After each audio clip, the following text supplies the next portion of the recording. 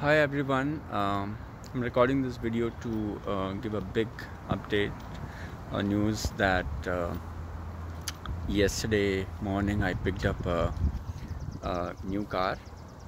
Uh, sorry about my haircut because I've done it myself and uh, because all the barber shops and saloons are closed so it may look a little messy but yeah so I'm going to show you the kind of car we, we got and all its features. So stay put. So guys this is the new 2021 Mazda CX-30 it's Mazda's a subcompact SUV line. Um, and uh, it's it's a black color it's uh, all black. Uh, they call it the black mica. And well uh, yeah there is the Mazda logo.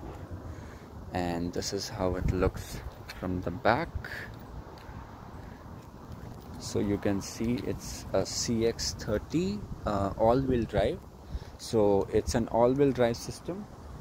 Um, not a four-wheel drive it's an all-wheel drive system. So the all the four wheels get equal power all the time. So this is how it looks from the side.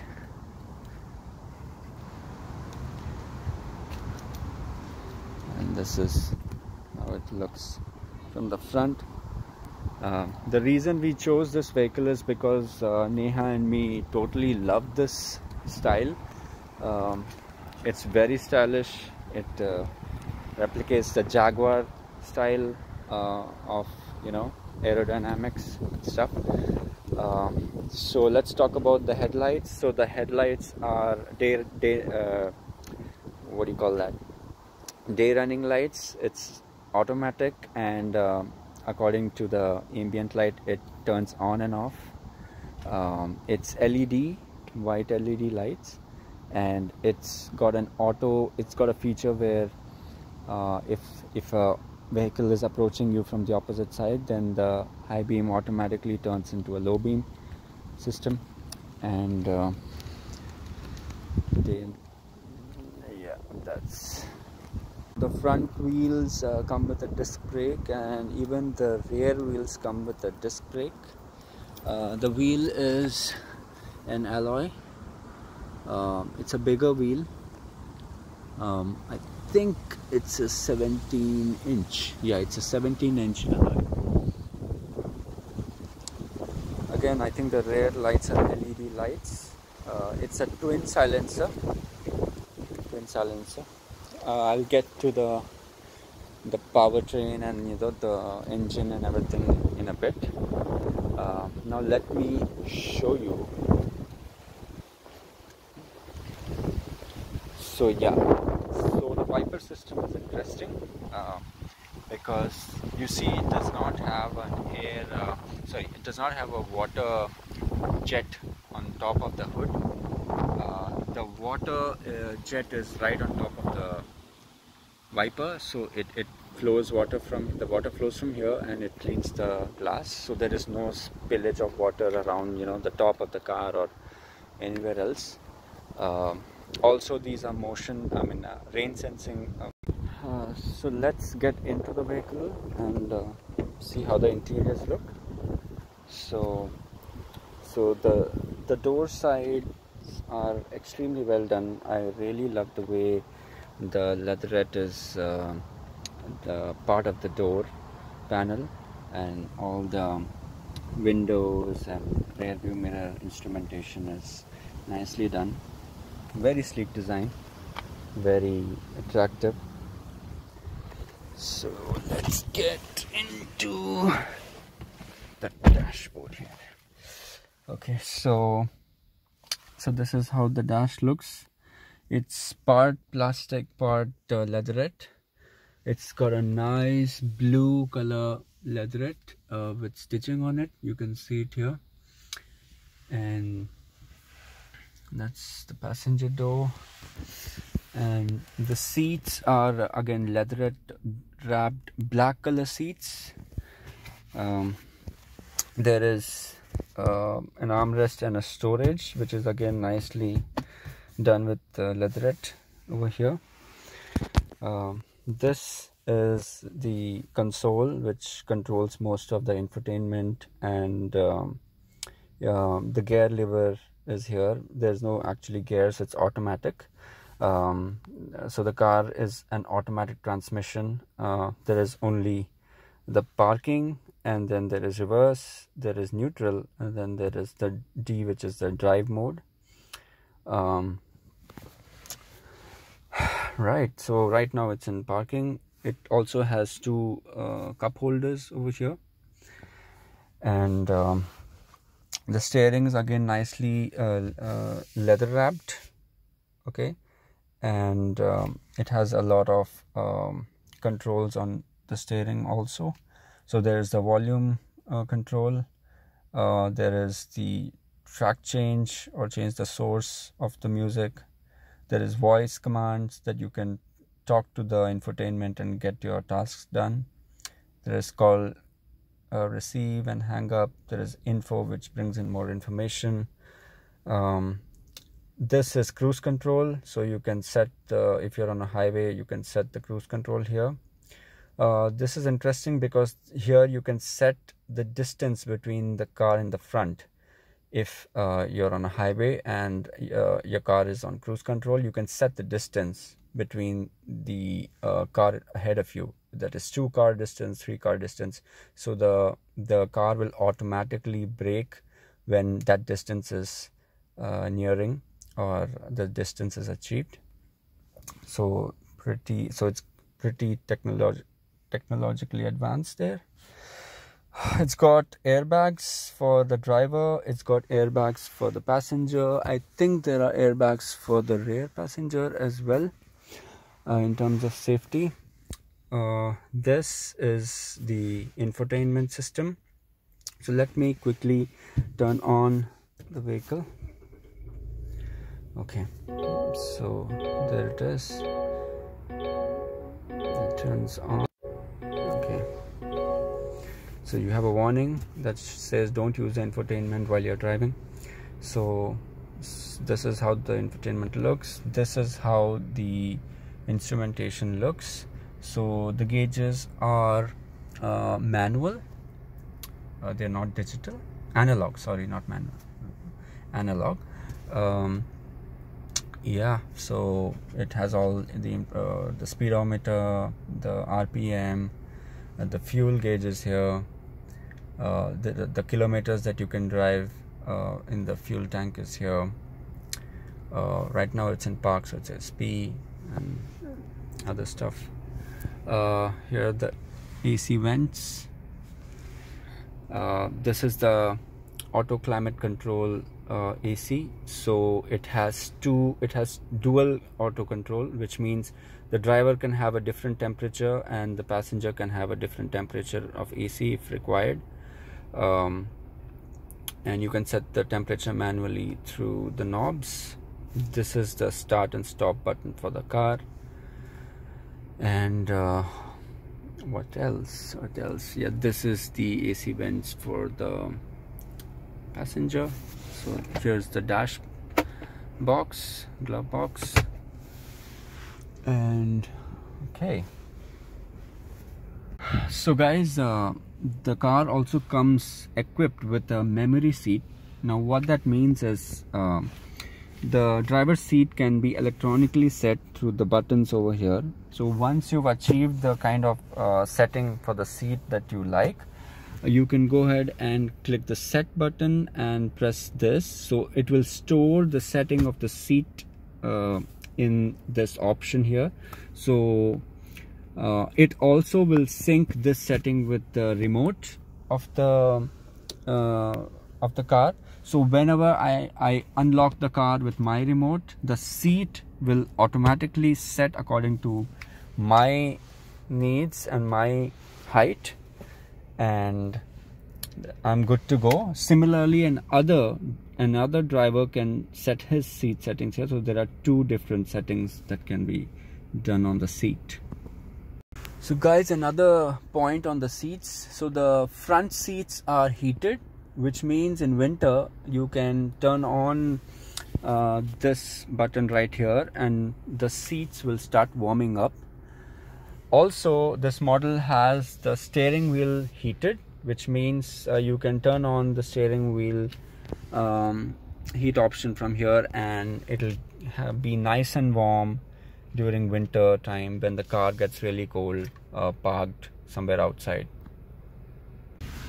also guys um, uh, when I uh, store the seat memory uh, on, in these buttons right here uh, they it also syncs the positioning of the rear view mirrors um, according to my needs. So I can set the rear view mirror I can set the seat and when I go ahead and set the memory button here it will automatically adjust all of these different um, settings according to my needs.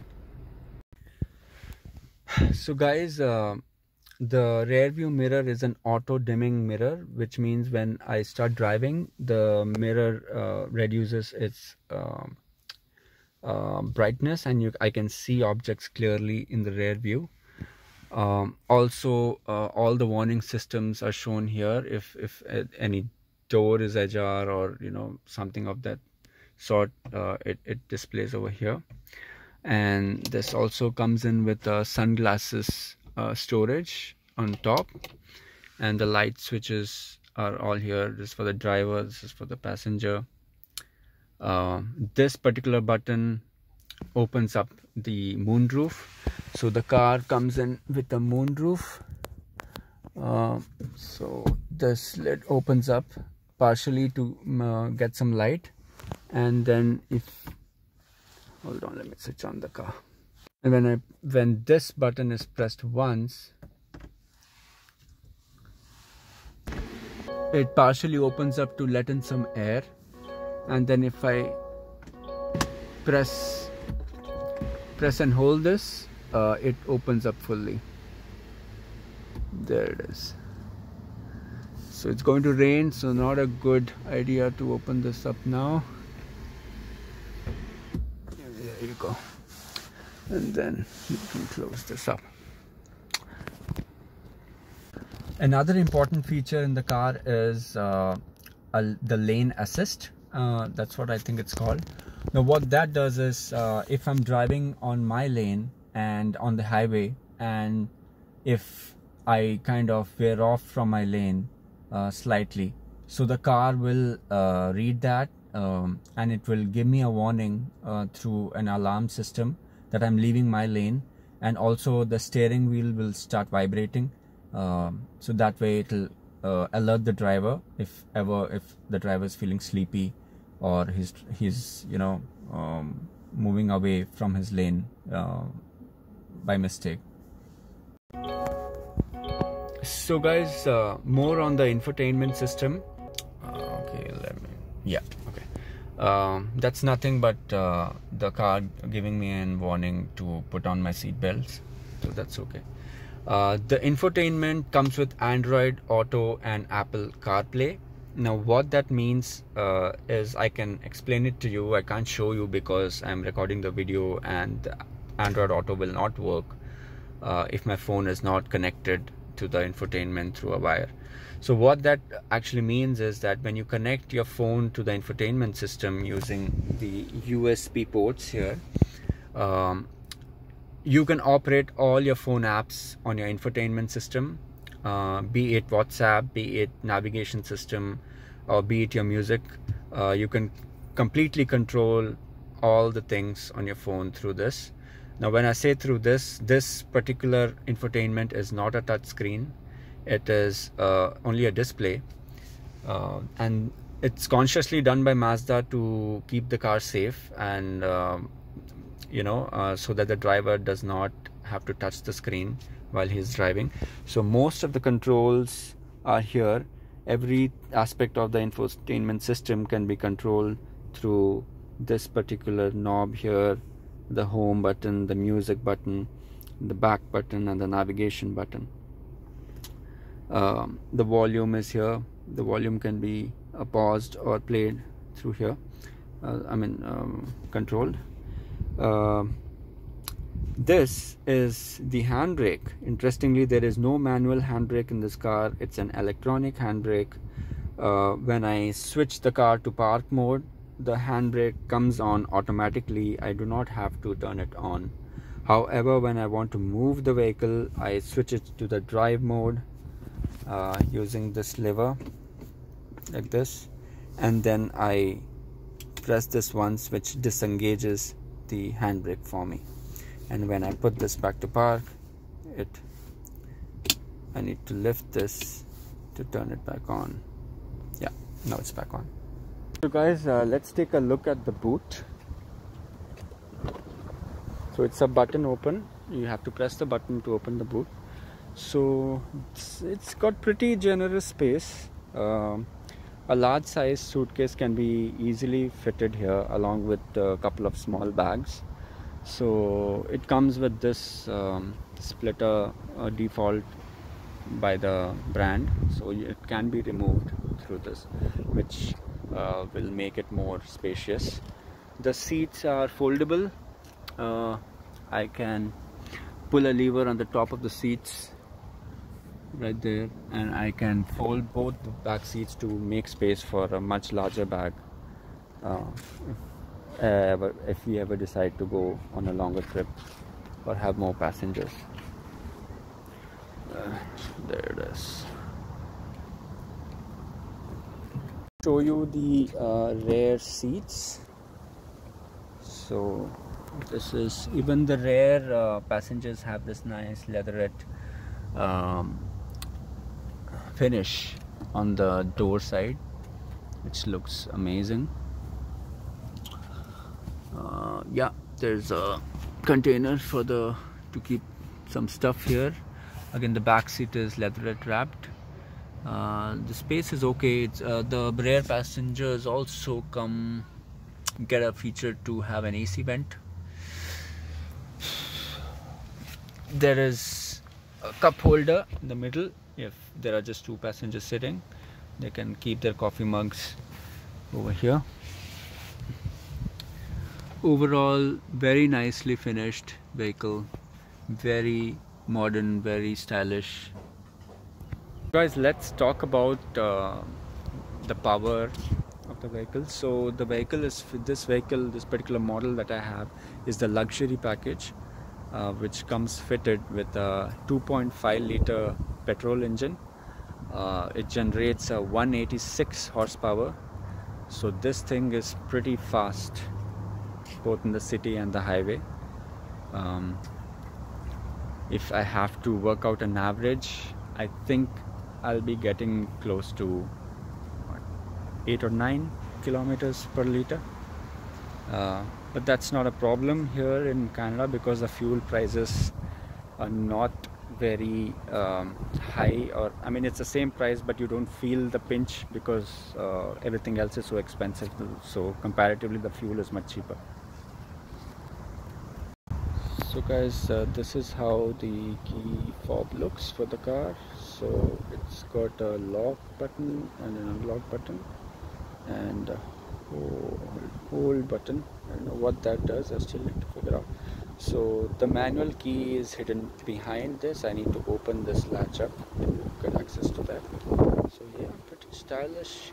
I think it, the overall theme of the brand resembles uh, Mercedes very much. As in terms of safety the car is uh, pretty loaded um, so it comes with uh, uh, something called as a blind spot uh, monitoring system. Now what that means is um, when a vehicle is overtaking my vehicle either from the left or the right uh, the lights on the rear view mirror there is a small light on the rear view mirror that gets turned on uh, which gives me an indication that there's a vehicle that's overtaking and I should not change lanes during um, that time